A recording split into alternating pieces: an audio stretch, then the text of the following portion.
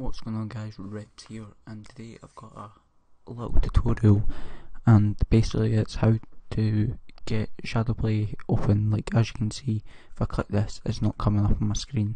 If I click it again it's still not coming up on my screen. So I'm going to show you guys how to fix this. It's simple as shit.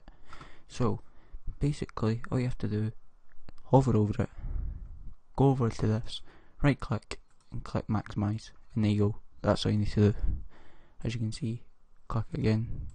Keep clicking it. You can see me clicking it and you can hear me clicking the mouse.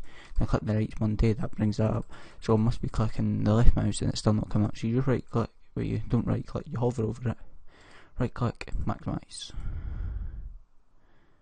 Wait some point around there My mind's been glitchy but you seen I did it the first time. So if you have enjoyed and this did work for you there, there we go. Must not been clicking right but uh, guys I'm Repz if you have enjoyed and it did help you, remember smash like button down below. Go be bringing more stuff out like this. Yeah guys, see you next one. Goodbye.